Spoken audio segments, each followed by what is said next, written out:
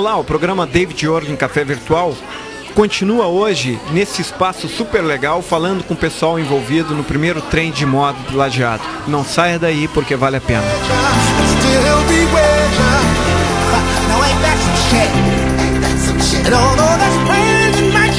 Agora a gente conversa com esse cara super bonito, Wagner Oliveira, Mr. Rio Grande do Sul Universo, que tem uma experiência super legal para conversar com a gente. Seja bem-vindo e parabéns pelo título.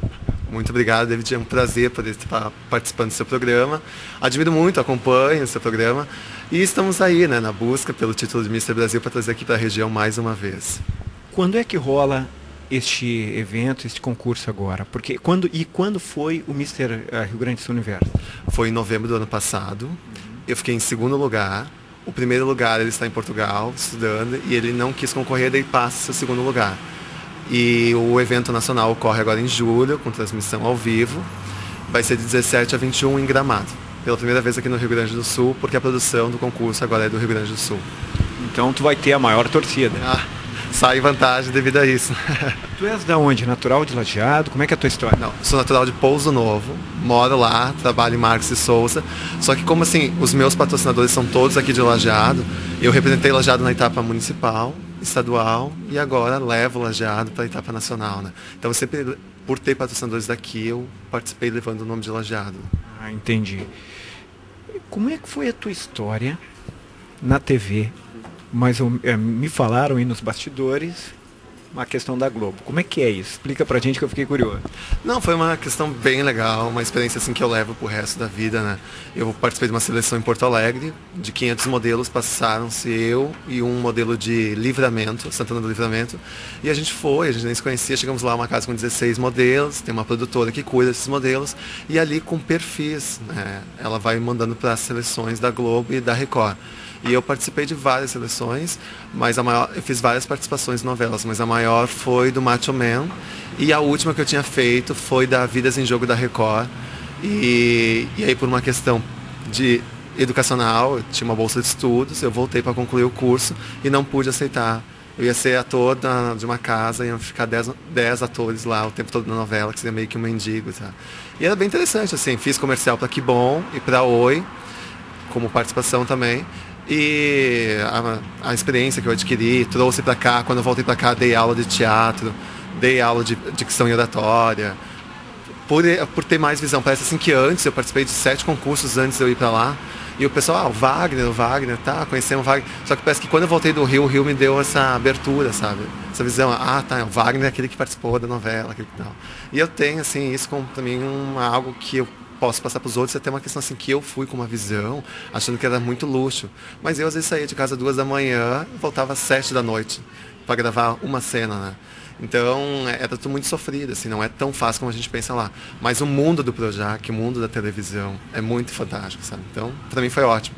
Eu tenho uma pergunta que trata Wagner Oliveira projeto a curto prazo e Wagner Oliveira projeto a longo prazo. O que, que tu andas pensando, imaginando e projetando? A curto prazo, eu estou numa preparação diária, com bastante gente me apoiando, é trazer o título de Mister Brasil para o Rio Grande do Sul. Trazendo o título, eu vou a Lima, no Peru, disputar o Mister Universo. E, modéstia à parte, eu estou com a própria produção do concurso contando muito comigo, por ser aqui do estado, por tentar, e está sendo mim uma batalha porque estou fazendo coisas que eu nunca fiz, academia seis vezes por semana. E a longo prazo, eu me formo em dezembro desse ano em Direito, é concluir o meu curso, trabalhar uns três anos de, na, na questão de advocacia ou assessoria jurídica, e aí me fazer concurso para me tornar promotor. Eu adoro a área penal, meu, minha monografia foi da área penal, e se ser sucedido nessa área. Daí me perguntaram, mas você vai tentar juntar a área de moda com a área jurídica? Vou. Eu acho é totalmente extremo uma da outra. Mas eu acho que dá para fazer uma coisa bem interessante assim. E, e, eu conheço advogados que são modelos também. Vamos ver no que vai dar. Mas essas são as duas metas. Assim. Parabéns. Quero te eh, desejar sucesso em Gramado e sucesso no teu sonho. Muito obrigado pelo espaço. Eu quero pedir ao pessoal que está nos ouvindo, a partir do mês que vem vai estar no site misterbrasilcomz.com.br a votação dos candidatos. O candidato mais votado vai direto para a final conto com a região, conto com o nosso estado. Quero agradecer a todas as pessoas que vêm me apoiando, familiares e amigos e os meus patrocinadores. E me colocar à disposição para a gente voltar a conversar até o concurso, ou talvez depois do concurso com o resultado. A gente vai ter que te entrevistar novamente antes e depois, porque se for depois vai ser muito conveniente. Né? muito obrigado, David. Um abraço para todo mundo que está ouvindo e sucesso no programa. Obrigado, é isso aí.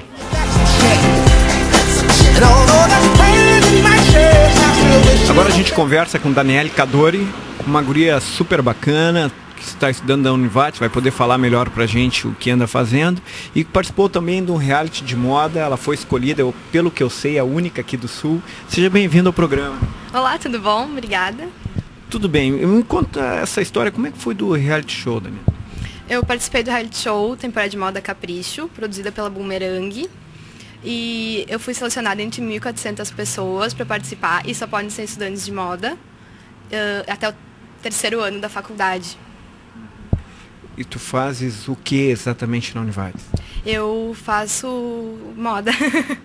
Mas tem a faculdade de moda na Univates? Exato, tem tecnologia de moda, não é um curso técnico, é tecnologia de moda. A diferença entre uma só moda é que ele é mais resumido, ele é mais direto, assim. Ele é mais pro mercado de trabalho mesmo, ele não tem aquelas disciplinas que enfeitam o curso, na verdade, sabe? Ele é mais assim.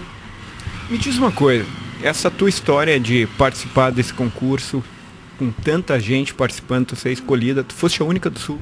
Sim, eu fui a única do Sul e tinha o mais perto aqui do Sul, era um menino do Paraná. Ah, eram homens e mulheres. É, exato, meninos e meninas. Tinham quatro meninos e dez meninas. Que experiência tu trouxeste, carregas contigo agora a partir desse evento? Uh, foi muito bom participar do reality porque eu tive um contato maior com a moda do que tu tem na faculdade, porque a gente só tem noção do que é verdadeiramente assim trabalhar com moda, o perrengue que é quando a gente está perto, sabe? Como é que tu está vendo a moda? Tem, tem duas coisas aí. Uma questão do olhar, do gosto em si, e outra das técnicas que tu aprende, da cultura da moda que tu aprende na universidade. Eu acho que a minha visão de moda é que ela está cada vez mais democrática, assim, sabe? As pessoas não estão mais usando assim o que está ditado na moda, elas usam o que elas sentem bem. Eu acho que é certo, sabe? Pra você estar bem vestido não precisa estar de marca, assim, de pé da cabeça. Essa moda já acabou, sabe? Agora tá também voltando essa onda de reciclar as coisas, sabe? Não é mais tão passageiro. Então, voltando a roupas de brechó, pegando, reformando a customização, isso eu acho que é o que está na moda. Essa história de não só quando fala de roupa de brechó, claro, telespectador entende que não se trata de tu lá só comprar no brechó, mas resgatar aquele tipo de roupa que se tem, ou, é um redesenho, talvez, uma, um reajuste de uma moda antiga.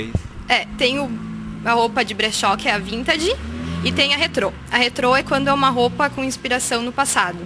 A vintage, ela é vintage mesmo, ela é mais de 20 anos antiga. Então, essa que a gente encontra no brechó. Uh, eu gosto dessa história de brechó porque ela traz uma história. Tu pensa, alguma outra pessoa já usa essa roupa. Alguém já foi em algum lugar com essa roupa que eu estou usando agora. Eu não sei quem é, mas ela tem uma história, sabe? Eu gosto desse, desse pensamento, sabe? É legal, tu, tu trabalhas essa, essa cultura até de quem usou a roupa. Olha, eu fico imaginando que usar a roupa de alguém deve ser algo extremamente bacana, mas ao mesmo tempo me preocupa o fato de. Uh, sei lá, eu acho a roupa uma questão tão pessoal, tão pessoal, quase intransferível, mas claro, se fosse tão intransferível assim, a gente não poderia ajudar as pessoas que precisam com roupa. Exato. E também tem essa cultura da reciclagem, porque a gente produz tanto lixo, tanto lixo, que a roupa não tem que ser reciclável também. Ela não tem que muitas vezes ser, tipo, ah, estragou, deu. Faz, ajeita ela para tu poder usar de novo. Usa a roupa de outra pessoa. Uh, o mundo, ele tá muito assim, imediatista, sabe? Ah, não deu, trocou. Ele não resgata mais o passado. Eu acho que essa é a graça da coisa. Pô, é, é super consciente, ela está falando uma coisa super legal. E me diz uma coisa, tu diz que absolutamente a moda está uh, tá se apresentando de várias maneiras, várias formas. Uh, então é difícil hoje se encontrar um estilo, um estilo que domine?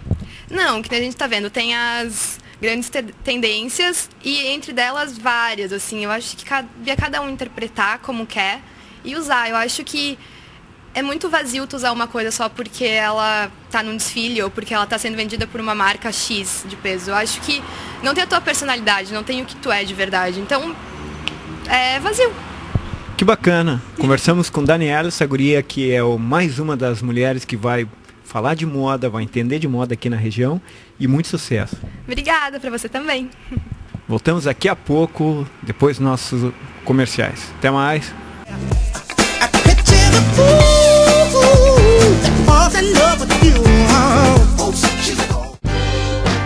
O segredo da sedução não está na bolsa da moda. Nem mesmo em sapatos caros. Menos ainda em vestidos de grife. O segredo tem que estar em você. Débora Seco pra água de cheiro.